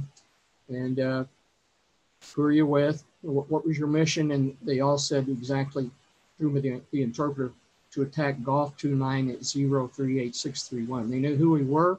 We had changed our battalion briefing No way. just a week or two before. They were listening to everything we did too. We listened to them, and not only that, they'd already broken the code. So they were, knew we were Golf 29 at 038631. And so I said, uh, How do you feel about coming down here? These are guys who spent the night trying to kill us, you know. So I'm, I'm really curious. How do you feel about coming down here? I I didn't want to come. Why not? Because of all the friends I have who've ever come down here before, no one ever came back. You know, they they were sent down there to die, and Wow. so that was our job to facilitate that because you kill them, they can't kill you, and uh, that helped me a lot to know. I thought they hated us with a passion. You're ready to die to kill me, you must really hate. No, they didn't even want to be there. That that was therapeutic for me. Yeah. And uh, but anyway, they they came and got those guys and interrogated them and uh, and they told them where the regimental CP was on the next ridge north. And Second ARVNs went in there with everything, even tanks, and overran the regimental CP. And they got the uh, they got the situation report, the NVA situation of our fight. And they said uh, it said of the hundred sappers they sent at us, we killed, captured, or wounded 89. So they were obliterated. You know. Wow. That's why the guys, those poor guys, never went back. So I, I had some compassion for them, plus our, our supporting arms, the arc lights, the B-52 drops, the artillery. Uh, we got hit by artillery during Dewey Canyon from the NVA 122s, and uh, it gave me a much greater appreciation for what it's like to be on the wrong end of artillery. It's terrifying when you hear those things screaming in and you're waiting to see if you're history or not, where it's going to land. It is terrifying. So I can't imagine with everything we went through, what they went through was 10 times worse or 100 times worse because we let them have it. If Jim, if we go back to that moment where you kind of turn around, you see the Yeah. silhouette and, Yeah. and you kind of Yeah. narrowly avoid this. Yeah. I mean, we've already mentioned a few times where you kind of avoid death by a hair's edge. Yeah. Um, for that particular incident, was there, I'm sure the fight's still raging. So you probably Yeah. can't take a moment to be like, oh my God, I'm still alive. But if you did, could you share that? And afterwards, did that ha- did that moment stick out to you compared to these other ones? It sounds like it's pretty foreboding. because I worked with police who were involved, with hundreds of police involved in shootings, um, I could relate to what they said about how excited they got. The adrenaline is flowing. It's very exciting. What George Washington talked about it. Uh, Churchill talked about it. You know, from his fighting days. Uh, Robert E. Lee said, "It, it, it is it is well that that." Um, combat is so terrible lest I would grow too fond of it.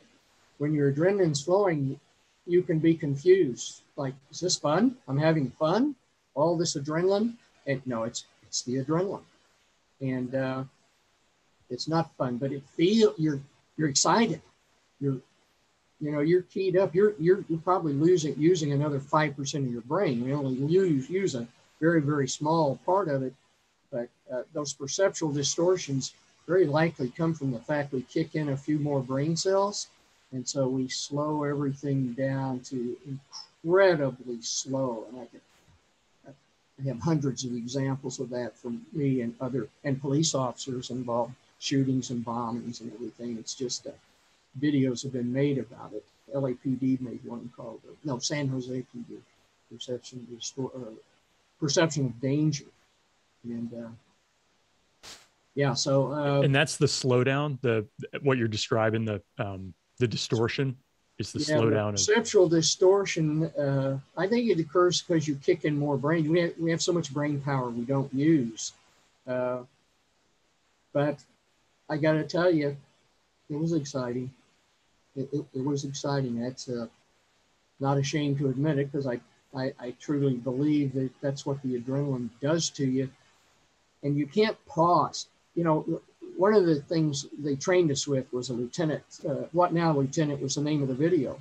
the training film, and people get killed, and they look to the lieutenant. What now, lieutenant? And the point was, you can't dwell on what just happened. You got things to do, you know, and uh, you better do them right because they're depending on you for their lives.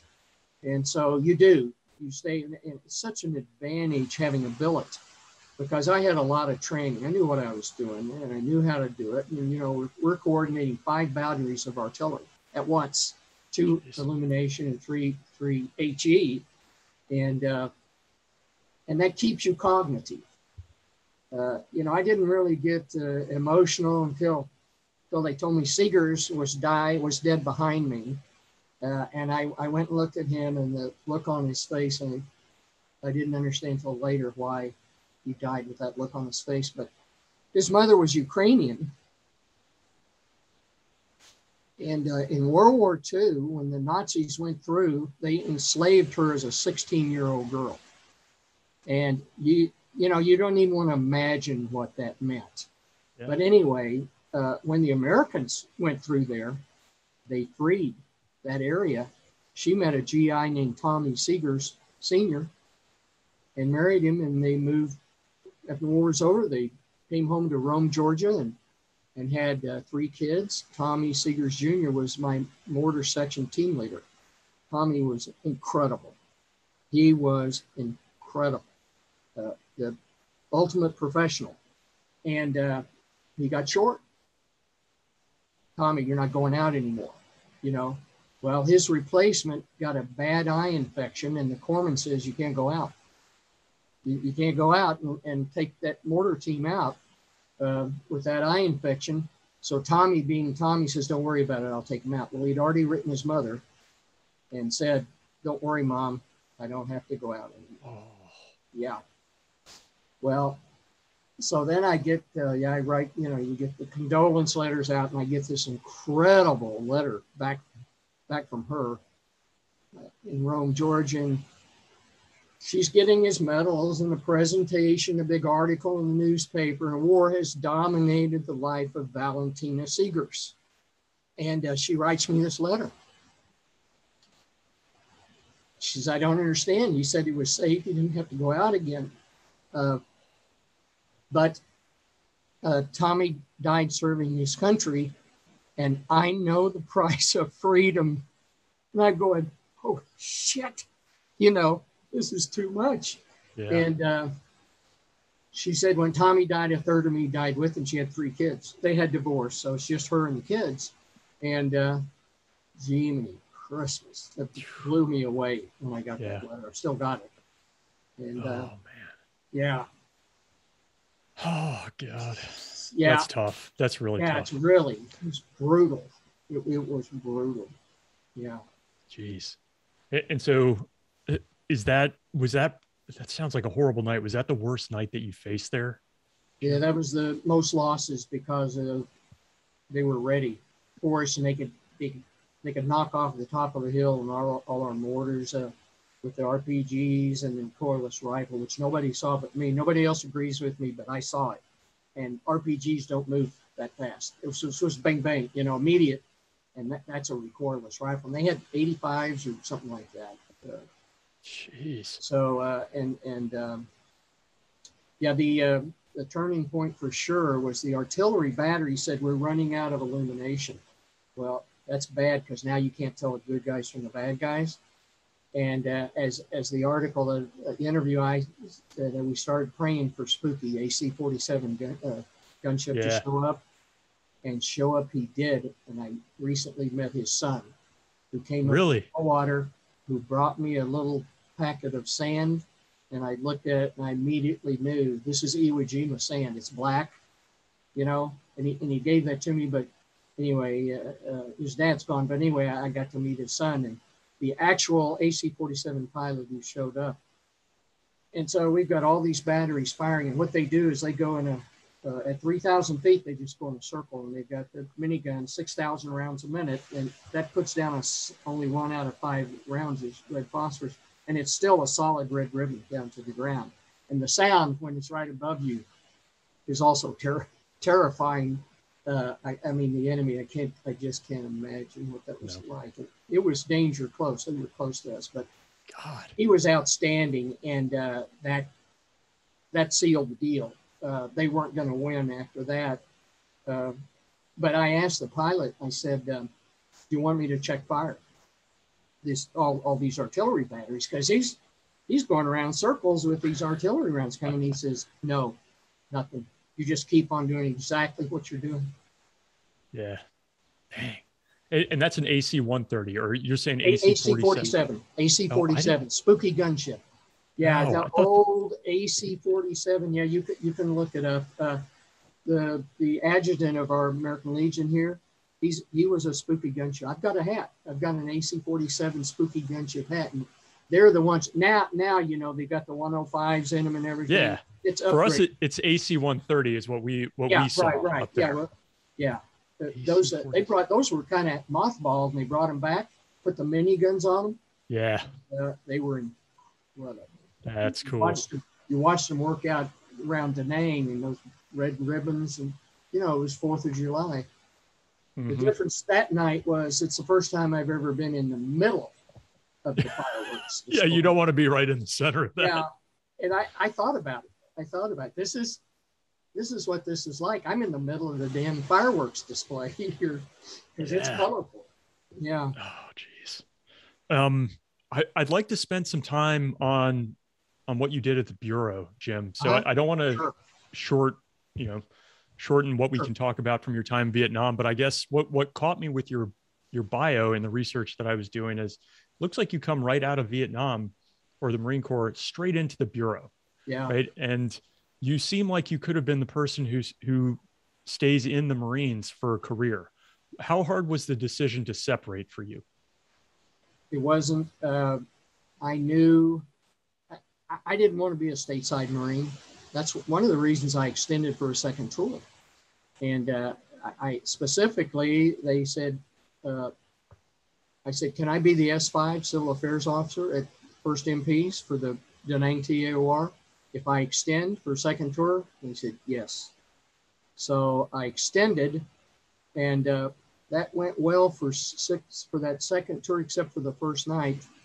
And the very first night in my hooch, there was a Soviet 140 that landed right behind the hooch. Fortunately, those things are made to penetrate penetrate the revetment so they can go up the jets, but they missed the jets and it came right over, right behind my hooch, right behind it, and uh, it, it, but it went deep in before it blew up. That's the only reason I, I'm here, and uh, it just picked me. You know, the concussion. just Oh my me up, gosh. Yeah. picked me up and put me in the middle of the floor and put shrapnel in my boot, but I didn't even have my boot on. But I walked, I, I went out the back door of the hooch and I put my hands out. It pulverized the dirt. It was fine black dirt. And it was so thick I couldn't see my hands. Out loud, out loud, I said, Welcome back to Vietnam, Jim Horn. And then I said, You may have made a very bad mistake. I never had another close call because I was working with civilians. But uh, the other funny story is the guy in the hooch sleeping on the cot uh, behind the hooch next to me. He gets a he wakes up the next he's dead drunk. He passes out drunk on that cot. He wakes up the next morning with blood on his leg. He got hit by a piece of shrapnel. No. He gets a he gets a purple heart. And I, I've always wondered what does he tell his grandkids about? I'm just, I'm sure he's got some great war story about how he's wounded in combat, you know, not not passed out drunk. oh, that's great. That is so Yeah. good. Yeah. Okay. So- Actually, before we jump to the FBI Yeah, time, yeah. When you come out of maybe either your first tour or your Uh-huh. second, Yeah. Yeah. and you reunite with your father, what was that like? we had a we we uh, met in Minnesota. My brother um, uh, was in uh, graduate school at the University of Minnesota, and so we all uh, uh, we all agreed uh, to meet uh, in Minnesota, and we were going to go fishing. Great fishing resort, log cabins, and everything. Play poker. We watched uh, we watched uh, uh, the landing on the moon, July 16th. Wow. 69 on a little TV, you know, uh, watched him step down there on the moon. And uh, so then I, I went to DC and I saw my girlfriend there for a while. And then I came, came uh, back in uh, Stillwater, a little time with my family. And because they flew you, the thing about special leave for 30 days, if you extended, they would take you anywhere in the free world for free Wow. fly you all over the world. And uh, I wanted to go to Europe, but my parents had, had, had found out I was wounded. There was a big article in the paper locally and everything. And uh, my mom had to see me. You know, I, Yeah. I have to see you and touch you to know. So anyway, I agreed to do that instead of going to Europe. Uh, but then I went, uh, stopped in LA on the, on the way back and and uh, you know about the Tate LaBianca murders, Manson family? Well, that, Yeah. that's what was going on. Oh, I'm in, I'm driving around in LA. There's no one out. No one is out in the yard. People, I mean, it was really spooky. Everybody was scared to death after the LaBianca murders. It was like, oh my God, they're getting, they're going to get everybody. But uh, you know who Gary Busey is? Yeah, yeah. Gary was my pledge son in college. So anyway, I got a chance to see him and the band cool. that was out there. They went out there to make it, and they didn't make it as a band, but Gary stayed and made it, you know, in Hollywood Wow. as an actor. So uh, I thought it was really funny. He says, "Well, I should be over Vietnam killing gooks," you know. And I said, "No, Gary, you're you're doing the right thing. Yeah. This is where Yeah. you should be, not over there." And uh, then I went back for that second tour. Yeah. It, but actually meeting up with your dad again, um, Yeah. how, Yeah. how special was that for oh, you? oh, we just, uh, yeah, we were fishing. It was a fishing trip. You know, everybody was happy. Yeah. You know, you develop a mi- surviving is a mindset, is a, is a mindset. And I, I had the ultimate survivor mindset, and it's, it's very competitive, it's very aggressive. And uh, I completely wiped out my dad and my brother. They didn't have any money left. We were playing poker. Supposed And to I be a knew, friendly. I knew what I knew was the mindset. I couldn't let go of it yet because I'm going back, and I've got it. I'm going to keep it. And then then I gave it back to him because I had to pay for the had to pay the bill and everything. But that that was pretty mighty. We caught a lot of fish, you know, big northern pike and stuff, and uh, That's cool. we had, Okay. we had a great time. Yeah. So, th- as you were saying, you didn't want to be a stateside Marine, so you make the decision to get out. Why the Bureau? Well, it, was easy. I, I thought I've had enough with guns. They, they tried to get me to stay, and they asked me to be the general's uh, aide. And Carl Hoffman was the general of, that you would want to be an aide for. Scholar and a gentleman. You know, you'd have us over, play the piano, entertain us at night. I mean, stuff like that. And I was assistant provost marshal, and uh, I said, no, I, I need to get out. You know, I, I'd been through a lot, and, and I Yeah. knew I needed to. Uh, to recover. And I thought, I'm just going to go to Europe uh, until I get tired of bumming around. Then I'm going to come back. And but what happened as assistant provost marshal, one of my I was operations and training officer for the MPs. So my job was liaison with the two FBI agents Palm Springs. Fantastic guys, great guys. so they'd come to the base, take them to the O Club, eat dinner, played golf. They liked me, and they recruited me, and and I really didn't want to do it. I said, I think I've had enough guns for a while, and but the uh, because everybody was getting out of the military in 1970, the unemployment rate in Southern California was 12 percent. Good luck, you know, not going to happen. So uh, I made up my mind. I'm getting out. I'm going to Europe. And they they call me up after I told them. They call me up. Said, Jim, uh, you're hiring a thousand agents. Uh, the Omnibus Crime Bill Safe Streets Act, thousand agents. Uh, you need to put your application in. So I'm, I'm going to go to your person and I'll come back. He said, no, you don't understand. The FBI, the door opens, the door closes. If you want to be in the FBI, you got to put it in right now. wow. And uh, so I went, shoot. And I did it. And uh, they said, uh, I, I passed the test. You know, I made 100 on the spelling test. They said, no, we don't take guys who make 100. But anyway, uh, so I had to go for my interview, personal interview. And uh, they told me who to interview with if I could and who not to interview with. Uh, they had a tyrant there. Unfortunately, I didn't have to interview him. But they told me something very important wear your uniform. Wear your uniform. So I'm all clean and pressed, you know. Uh, I go there, there's 17 guys there for their interview. This is the final stage of being hired. Only two of us are in uniform. We're the only two that got hired. Interesting. Uh, Yeah. You get a you get a veteran's preference uh, of five points. I had a Purple Heart. I had a 10 point preference. So I scored well, and then that just uh, that put me up, you know, in the hiring category along with the other guy. So we both wound up as FBI agents, and uh, the civilians didn't. So there was a, you know, that that's a pretty nice reward for going through what we went through. yeah. That, that's your whole career, your whole life, and that's how I met my wife in the office of Denver in 1974. Well, Yeah. it's it's not like you were you were given some cush job either, though. I mean, you were still going to be in the thick of it in some dangerous situations again. No, no way I could have taken a desk job. Yeah. And and this is how that stuff affects you, and you bring it home. we were supposed to always have our seatbelts fastened in our bureau cars. First office was Seattle, and the guys would say, Horn, what, why don't you fasten your seatbelt? And I said, because I get nervous if I feel like my life's not in danger. That's a true statement.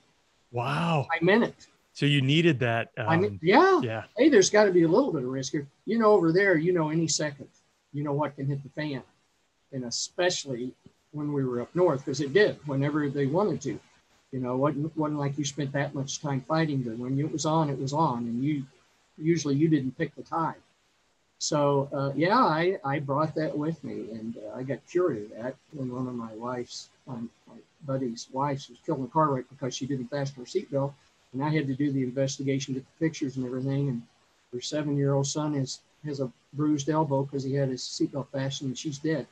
I thought, well, I'll never, I'll never not fasten my seatbelt again. You know. Yeah. Yeah, he grew up without a mother because she didn't fasten her seatbelt. And I mean, spoiler alert for listeners, but you do 26 years at the bureau, right? So it's not like you just dabble in it. I mean, you yeah, 20, lived this 25, career. Yeah, 25. Yeah, because I retired in January '96 and I went in December '70. Okay, so yeah. and in that time, and please, I, I think I'm going to get this slightly wrong, but you end up with a degree in behavioral behavioral science. Is that right? I Jim? had I went to graduate school George Washington uh, at night, you know, and uh, it's a, a, master of forensic science degree. Forensic science, terminal okay. degree. There's no doctorate, so that's that's where you quit. But because I was profiling unsolved violent crimes at the time, that was a perfect uh, graduate degree for me to get. It helped and a I, lot. Uh, sorry i was going to say i bring it up because you dealt with this the, the mind so much like personally in vietnam and then you know we talked i think you do some work with swat you're working on dangerous crimes like um, did something pull you that direction to start looking at the trauma or that mindset or well, do you feel like you were just given that at some point my undergraduate degree was psychology. So I was in Denver office for 11 years. And every time the behavioral science unit hasn't had an in service, I put in for it. So whether it was forensic hypnosis, advanced criminology, no matter, no matter what, if it was profiling, I put in for it. Well, my boss liked that. He, he felt like probably that was one of my callings.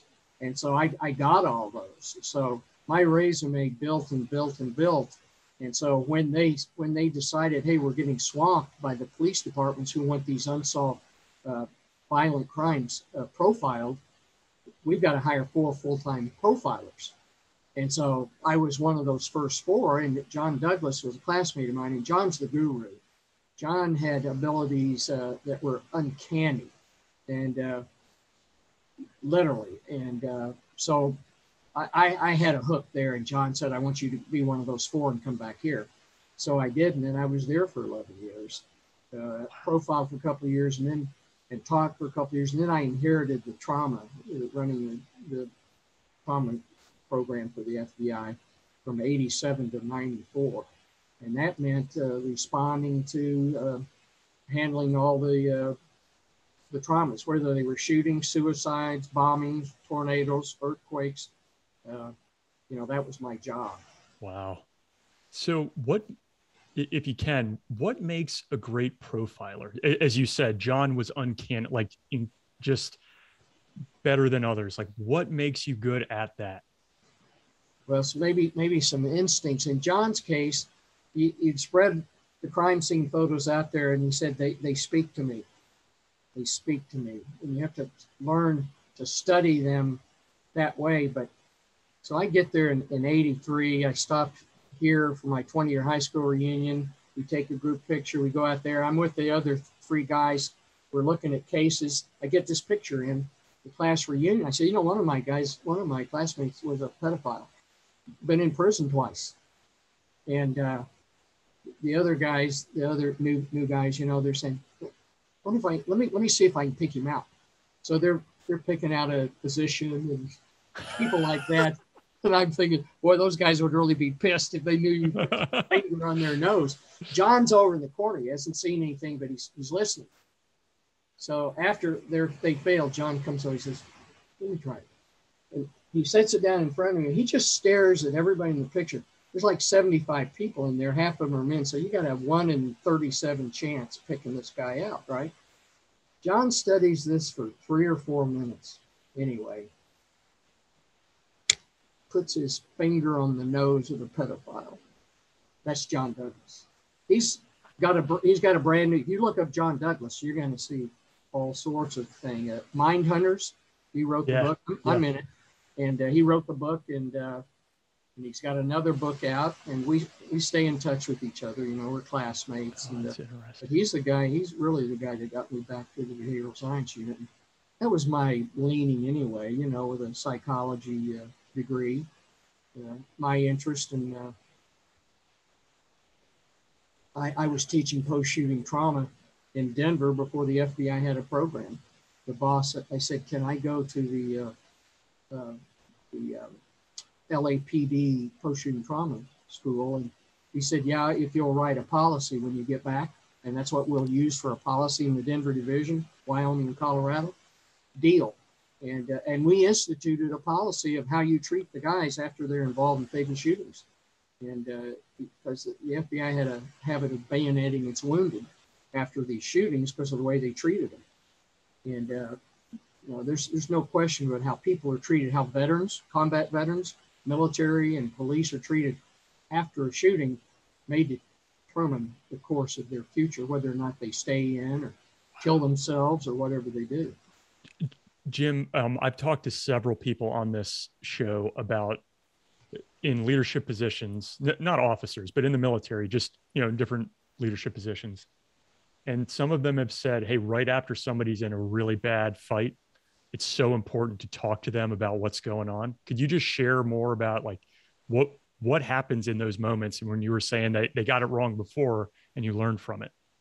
Yeah, well, the inspection division was causing the most of the problems because they'd go out and say, "What was your mindset when you shot the skyjacker?" Mindset? What? Are you talking? You know, they were trying to trick them up. We had to kill a skyjacker in Easter '76 in Denver that came from Nebraska with a pilot and mechanic as hostage, and went on for hours and hours and hours. And and I was supposed to take him between the little plane and the big plane, but uh, the big Convair 990. But when he came out, he put the pilot in front of him with a single action revolver behind his ear and over and under him, leg of the mechanic, and, and they just slid all the way across the macadam, had him, and then he saw me waiting, went berserk, and they said, get, get back in the truck. I'd driven that ramp up, the old ramps you, you drive up, you know, above the truck. And so I had to let him go into the into the plane, and uh, the shooting miraculously uh, I could go on about this, but to cut it short, the two agents hiding behind three, row three uh, engaged him. The pilot instinctively knew, he didn't see him, he instinctively knew I've got to get space between me and the skyjacker. He took two steps forward. And at the same time, without even being able to see, the two agents rose, engaged him, bang, bang, bang, bang, bang, bang, bang, bang, you know, sound like machine gun. And uh, he, he dies. He had told his his, his uh, uh, captives that uh, he wanted to see his brother, and we brought his brother from Grassley. He said, if they bring my brother over the plane, which we didn't do, I'm going to kill my brother first, and then I'm going to get as many of the FBI agents as I can before they kill me. So it was suicide by cop. But anyway, the two agents there on the third row, I went up, you know, I went up, stepped over the body. No question, he's dead. I stepped over the body to them. They're both sitting on the front of their seat. They're both they're both this white uh, shock. And and I know about shock, and the first thing you do is you start talking to them. You know, I actually shook their shoulder a little bit, make sure you okay, are you okay? And I didn't see any blood. I didn't think they were hit, but you know, you got to talk to people, keep them out of shock. Shock can kill you. And so I, you know, I got them I got him to respond to me, but uh, both of those guys in, uh, in those days, they there was no program really for long term, and uh, one of them gained 40 pounds, and the other one thought he was losing his mind until he went and I told him to go talk to his priest, and he said he did, and then, now he was okay. And I said, well, you must have a good priest. He said, no, I didn't talk to my priest. Uh, that's too personal. I had to talk to another priest. But anyway, you know, whatever yeah. works and they Yeah. both got through it. Uh, Wow. One of them became number two guy in the whole FBI after that. Oh, that's amazing. Yeah, Wow. yeah. So, uh, you know, I, I'd been through all this stuff. I had all the perceptual distortions. I had a lot of questions. Uh, the thing about my dad's alcoholism uh, was uh, it took me years to realize my dad made a survivor out of me. Yeah, I, I was surrounded by the best fighters in the world, in my opinion, and they were going to have to get through them to get to me. So I felt pretty safe. But uh, that survivor instinct, uh, uh, attitude, uh, I got from my dad because we, we had to escape and evade him on a regular basis. It got to be a game when I got old enough to drive and everything. He'd drive up in the driveway drunk. We'd run out the back door and the car was in the next block and we'd go to a movie or drive around. And, you know, once a drunk falls asleep, nothing will wake him up. So we'd wait until he fell asleep and come in go to bed. It actually got to be kind of fun. But, but, you know, it took years to realize he, he made a survivor out of me before I ever got out of high school. And I, I still got that in me. I took it to Vietnam. Wow. I had it through malaria and all the other stuff. Jeez. Well, Jim, I, I'm gonna let you get out of here. I got two questions I like to ask everybody. Sure. Um, so if if you'll allow me, the first is when you were in combat, was there anything that you took with you, carried with you that had sentimental value, good luck charm, something that somebody gave you that meant something to you? I, I well, I, I put a cross. I'm not Catholic, but the only thing you buy over there was a crucifix. I put the rubber thing on there to make it soundproof, and I put that my dog tags. That uh, faith absolutely got me got me through this uh, in, some incredible ways. Um, and um, I was going to say something else too. Something else you carried or that somebody gave you? Oh, oh yeah. Well, my grandmother gave me a little red version of the New Testament, which still is right in there next to my bed. And I, I had that with me. She said, let this be your guide always. And so I felt like uh, that was where my, my strength and my peace came from. In the middle of the carnage that's indescribable on 21 April of 69 with those sappers, uh, it's the only time the volume of fire of two companies going against each other was so heavy, I couldn't talk over the radio. I had to wait until there was a lull so that I could hear my platoon commanders and they could hear me. And uh, in the midst of that carnage, uh, I reached in and, and, you know I got dead radio operator, wounded radio operator in the hole with me, and uh, and uh, I realized uh, you may not see the sun come up today. And I reached in and I grabbed that and uh, I looked up and I said, uh, you know, whether I make it to the morning or not, um, I know it's not up to me. I know it's it's up to you. It's your decision, and I just want you to know, whatever you you decide, I accept your decision. And in the midst of that environment, I experienced what the Bible calls the peace that passes all understanding. Because how could you be that calm with this going on around you? But uh, thank God my mother was a person of faith. My, my dad's dad was a preacher. My dad was the classic preacher's son. you know, you go one way or the other, and uh, he kind of went the other way. Oh, But, uh, okay. That's great. Those, those are two great ones. Um, Yeah. And the last question that I, I try to ask everybody, and especially for you, we, we talked about many near death experiences for you, Jim. So, and we didn't really even dig into many of them in the FBI time. But as you look back at the people you lost, you know, we talked about people specifically by name, the times you nearly lost your own life and the sacrifice. Would you go back and do all that again? Well, yeah, I think think we all would, unless we knew that the country was going to turn around, to turn its back on our allies uh, and leave them the way we left them. Uh, I, I felt really good about what I did. Somebody, F. Scott Fitzgerald, somebody said it's it's a good thing to fight for your freedom. It's far better, even when you fight for somebody else's. And so that I, we were freedom fighters. That that's my take on it. And we didn't lose the war. We lost the peace because of our Congress and uh, that's that's my story, and I'm sticking to it. That's my Wow. view, and I'm sticking to it. That, that's just the way I see it. and uh, I, I always will. Uh, and I think an awful lot about the my chief interpreter. I've got a Buddha, Buddha statue on my uh, on my uh, patio for Sergeant Men, um, who was from Hanoi, and when he was eight years old in 1954, he and his family walked 380 miles to the lot so they could live in a free country. And he was my primary interpreter and uh, most devout Buddhist you could imagine. And uh, he, he walked the walk.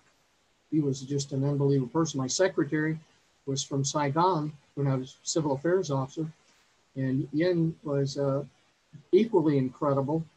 And twice a month, you know, these are the people they said told us uh, they don't care about freedom and democracy. And she twice a month she would come in looking like she'd been through the mill all night. And the second time she did, I said, Yin, are you are you okay? You, you, you? Oh, I'm fine. You look very tired. She says, Oh, I have guard duty last night. I said, What? I have guard duty. Says, Yeah, Hamlet. Says, I M1 carbine, I have to walk perimeter all night protecting my Hamlet. Wow. Yeah, says a lot. Yeah. You well, get people like that. No. No. Jim, thanks so much 50, for the I had time. 53 Vietnamese working for me. Yeah, and they Yeah. got when I had that when I had that job, they let- they knew how I felt about them, why I was there, and uh, it was a great experience.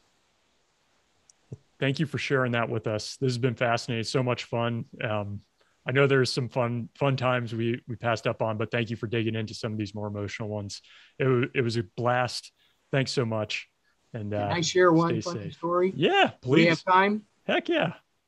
So we're we're ordered to move to an old uh, uh, fire support base. It's abandoned, uh, so that they can pick. We're in triple canopy. You can't even, you know, use your compasses, and we have a hard time finding this place. But we finally get there, and to my dismay, when we get there, whoever was there before us uh, left a bunch of discarded a bunch of uh, 60 millimeter mortar rounds, which the bad guys get in booby trap. So I was pretty upset about it, but we had a handheld 61 millimeter NDA mortar, which was the best weapon in the company, because our guys could could handhold it. They could use that thing and was unbelievably effective, and they were really good. So I said, "Hey guys, why don't you just practice? We're we're waiting for the helicopters. Why don't you just practice and shoot out all this old ammo?" So there's three of us standing there, and the guys are shooting the, the, the old rounds out, and then the sound you never ever want to hear, a short round comes out of that tube. And I mean, it's short. And there's a big foxhole in front of us, and three of us. And of course, in unison, you know what all three of us said? Oh, Oh, something. shit. Yeah. Yeah. And we all dive forward trying to get into the hole, knowing if the short round lands right there before you get in the hole, it's goodbye, Brother Watkins. We're gone. We get in the hole, we're probably going to be okay. And again, super, super slow motion. So I'm diving through the air and I calculate, you know, it's going to land before we get in the hole. And here's how, how well you can think. Believe it or not, I do this. I try to accelerate by swimming through the air, and uh, and I realize it, doesn't work. No, you can't do that. I thought that was funny. I actually started laughing, and then my next thought is, oh my God, my parents. You know, the first thing they're gonna say is, did Jim suffer? And I just, I said, I hope somebody says no. As a matter of fact, Jim thought it was funny. He was laughing when he died. Well, here- here's the good part. Because it didn't go far enough, it didn't arm.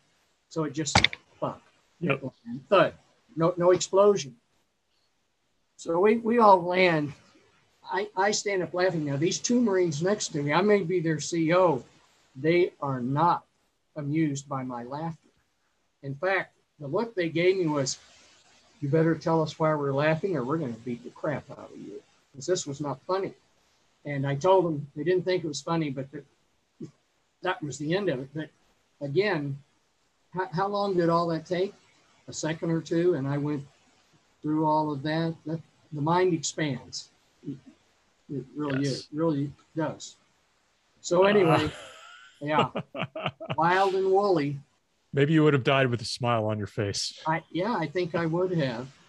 Yeah. Gosh. Well, Jim, thank you very much. Appreciate the time. And Thank uh, and- best and of I- luck. I personally very much appreciate what you've done for this country. I see those things on the back there, and I have the utmost respect for everybody who makes that kind of commitment. I didn't have the I didn't have the nerve to go in the CIA. I'll tell you the truth. I said they're they're going to send me right back to Vietnam. This time I'll be by myself. I don't think I want to do that. You know, I'll go with the platoon or a company of Marines, but I ain't going over there by myself. I mean, really, seriously, I thought about it. Yeah, I'm sure. Yeah. I, I'm sure they would have loved to have you out there on your own. No doubt. Our first comment is an email that we got from a listener, and it's uh, from from Bradley. I won't share any more about that, but it's a pretty special comment here. He says, "I'm the son of a uh, CW2 who was a Loach and Cobra pilot in Vietnam.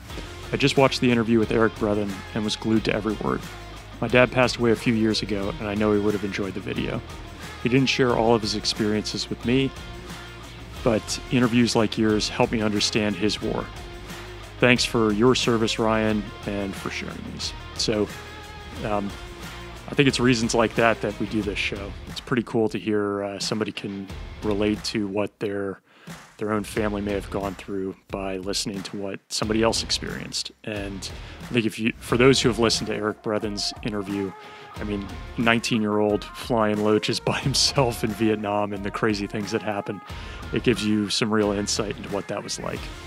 Um, so thank you for leaving that, Bradley. Um, I, I know what you mean, especially having a father who, who was a pilot. So thanks for leaving that comment. I'm glad it meant something to you. Our second comment is from YouTube that aka Brock left on the David Park episode. He says, I've listened to every episode on the podcast and loved every single one of them. As an ex service person myself, it's so interesting hearing about the SF elements. These stories have inspired me so much.